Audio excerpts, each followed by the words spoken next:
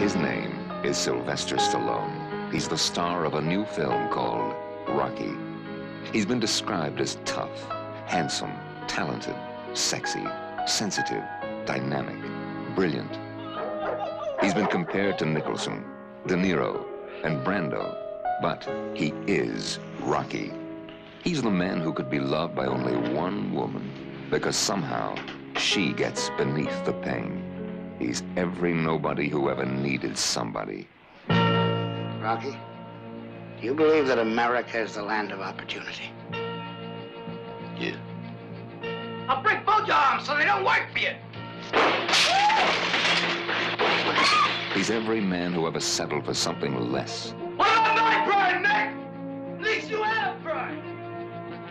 I ain't had no pride. I ain't had nothing. I want to get that. I want to get that. Terrific. I mean, you could be a heartbreak. You walk down the street breaking hearts the way you're looking. Very sharp. He's the man who never had a chance until now. Rocky. His whole life was a million to one shot.